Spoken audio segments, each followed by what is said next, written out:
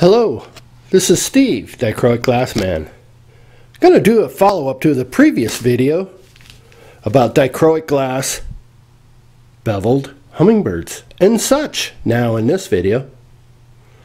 So let's talk about this from the beginning because it's about reinforcing. This may be redundant from the previous video, but it's about reinforcing the same thought. This is a typical butterfly GST bevel cluster. We've seen these on the market before, used in patterns and for sale on online places. This is the large GST9 hummingbird. Comes all prepackaged, it's in clear. All these are in clear. Except till they arrive here. the birds arrive clear and a step-by-step -step process of laminating each piece one at a time with real dichroic glass, we're able to achieve a finished product. It's all the same process.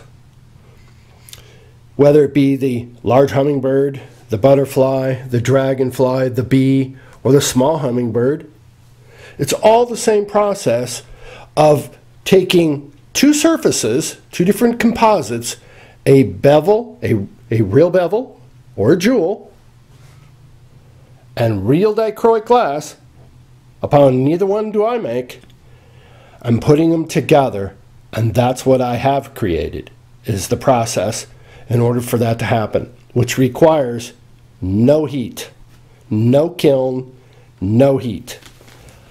Its curing process is light, L-I-G-H-T.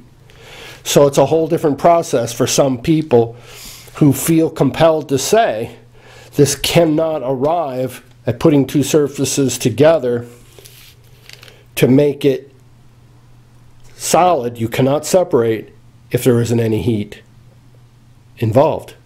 And for some folks, that's hard to overcome. One by one, taking them out of the package, putting them onto your pattern, through the process, you arrive at the finished product. Same process, no matter what. If your bevel is flat, or your jewel, yes, you can do some other things. Really pretty things. Jewels, as long as it has a flat back, no matter what the top looks like, as long as the back is flat, because we're using real dichroic glass that has to that comes flat and has to remain so without heat. Well, I put together a little pinwheel. How do you like this little guy? By taking a five star and now turning it into a pinwheel. A dichroic beauty for sure. Imagine having one of those as a rosette in each corner of your panel?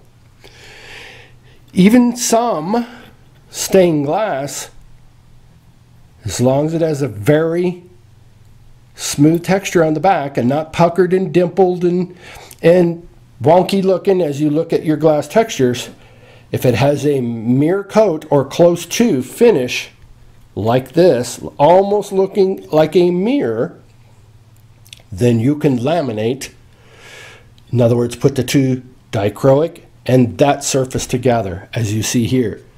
I created this so you could take a broken bevel cluster set that maybe these two pieces are broke and with your mindset and the way I show in my videos to teach, you learn how to become adaptive.